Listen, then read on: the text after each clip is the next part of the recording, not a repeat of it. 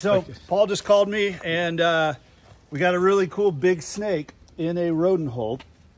Um, I've identified it as a gopher snake, but what I don't really have is an easy way to, to physically grab him. And I don't know exactly what's head and what's tail.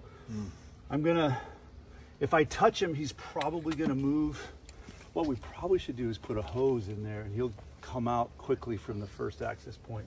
Or do you want me to uh, plug that hole? Yeah, see, he's going to pull back. Oh, I might be able to get him. Wow. Oh, he's big. I don't want to hurt him, though. Right. No, he's pulling, he's pulling back against me. Come on, bud. I just don't want to get tagged unnecessarily, but boy, he is big. See, he's, oh, he's going the other direction. Oh, wait, wait, no, no, no, no, no, no. Wow. No.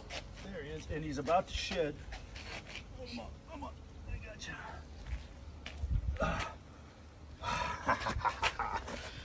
That's a big gopher snake. that is.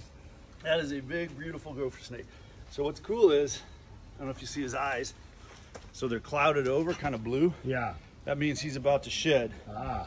And uh, I scratched him up a little getting him out, but he's okay. Cool, bud. And, you know, not biting. Yeah. You know, he's yeah. no more interested in me. He's probably confused because their vision when they go into the blue like this is what that's called. Ah. He probably can't see me very well, so he doesn't know if I'm a, you know, a panther or not a panther, but a bobcat or a cougar. Right. Gotcha. Put him in here. Whoop. Doesn't want to go in there. That is awesome. Wow. So he tried, he tried to go something up that way. Yeah. And that's why I had to grab him.